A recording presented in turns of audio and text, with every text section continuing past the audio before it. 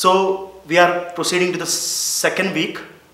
So first week is done. So we know in first week what happened. The blastocyst formation occurred. Right. I told you very important question there. Zona pellucida. What is the role to prevent polyspermy and to prevent ectopic pregnancy? When zona pellucida that is covered in the zygote as well as the morula stages, but they get disappear in what blastocyst. That's why blastocyst can be implanted in what uterine cavity. That is in the posterior wall of uterus. That is the role of what zona pellucida. Now we are going to the second week. Second week is very important. Remember, for easy remembering, sometimes second week is also called week of two. In medicine, week of two here. Everything is two here or phase of two. I will tell you, you will see why we are calling this week of two. So listen here. So already what is formed? The blastocyst is formed. Now I am taking this as an embryonic disc. This is called embryonic disc. See what happens in the embryonic disc there will be development of two types of cell. This is called inner mass cell. There will be two types of cell, inner mass cells as well as there will be development of outer mass. This is called outer mass cell. So this is inner mass cells and this is outer mass. So what happens from inner or what arises from inner mass cell? This is called inner mass cell. From inner mass cell they give rise to epiblast and hypoblast. Remember once again inner mass cell give rise to epiblast and hypoblast. What will arise from epiblast? You know what is the important cavity here? Amniotic cavity. Amniotic cavity. And what arises from hypoblast? Primitive yolk sac. Primitive yolk sac. One other question here is about this is embryonic disc. Epiblast is made up of columnar cell. Epiblast is made up of columnar cell. What about hypoblast made up of cuboidal cell? Cuboidal cell. One of the other question from here like histology type question is amniotic cavity is lined by which cell? Amniogenic cell. Amniogenic cell and there is a membrane covering the yolk sac that, that is called Heuser's membrane. So whatever I have written here, if I come to the figure, this is the inner cell mass, they will form uh, around that is called epiblast. This is the epiblast. What is the cavity here? This cavity is called amniotic cavity. And what about below? Below they will form hypoblast. And what is the cavity here called? Primitive yolk sac. Remember what is the cell here? The cell is called columnar. Columnar epithelium. Here it will be cuboidal.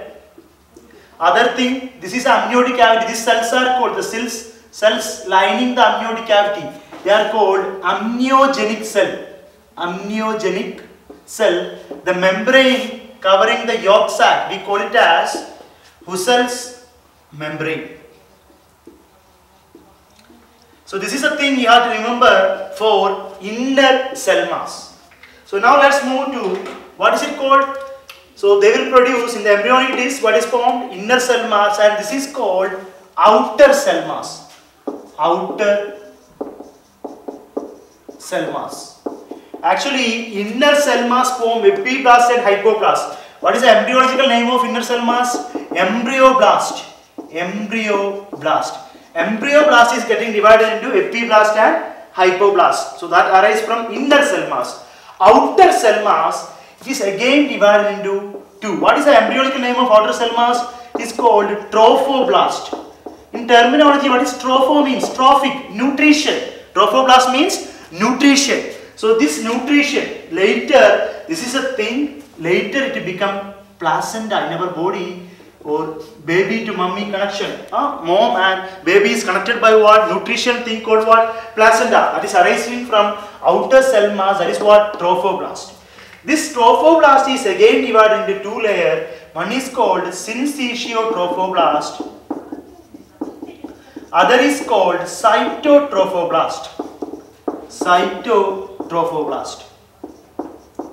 So syncytio is the outer one and cyto is the inner one. So again, trophoblast itself is divided into syncytio and cyto. What is the terminology meaning of syncytio? They are multinucleated. Multinucleated. Remember it. And cyto means cell. There is a very important question from here. Cytotrophoblast, what happens to it? They will be invading. This is called the active layer. There is a one important MCQ. Which of the following layer of trophoblast is important among cyto and syncytio? Which is important? Cyto is very very important. Why cyto is important? Listen here. Because cyto do two things. One is cyto will form syncytio. Cytotrophoblast. So what is important one? Cyto. Cytotrophoblast gives rise to syncytio. Syncytio trophoblast. Other thing is cytotrophoblast. It is a part they will invade the uterus. Like they have to connect with the uterus, right? They invades uterus. To which layer? To decidua basalis. They invade uterus to decidua basalis. So that is why again repeating why cytotrophoblast is important. They do two things. They give rise to syncytotrophoblast and they invade uterus to which layer? Decidua basalis of uterus. So remember if I draw the figure here we have already got outer cell mass. So this is the embryoblast. We have inner cell mass here. They will upper, they will form epiblast, lower they form hypoblast and we have cavity here. Cavity here is called amniotic cavity. This is called yolk sac, you know it. And we have outer cell mass. Outer cell mass is again divided or outer cell mass form trophoblast that is divided again into two layers. The outer layer is called syncytio trophoblast. Outer they form, this is called syncytio. So this is ST and inner is called CT. So again outer cell mass form outer ST and inner CT. Remember, so we got the figure like this now. Now, so we studied from embryonic disc two cell mass arises, inner cell mass and outer cell mass. From inner cell mass embryoblast, from outer cell mass trophoblast. Now what we are going to do, like what we are going to see here. So just a briefing what we have seen in the all embryoblast. This was the embryoblast. There was inner cell mass. They formed two cavity, amniotic cavity and yolk sac and they have epiblast. This is called hypoblast. This is from inner cell mass. Then we had outer cell mass. Outer cell mass itself is divided into two layer ST and CT. This is ST and this is CT. Now you can see a space here. This is a cavity, right? So now one more layer that is happening here. This is called the space what you see here in between extra embryonic mesoderm. Extra embryonic mesoderm outside the embryo. Extra embryonic mesoderm. The space in between this inner cell mass and outer cell this space we call it as extra embryonic mesoderm. This extra embryonic mesoderm itself will form a cavity.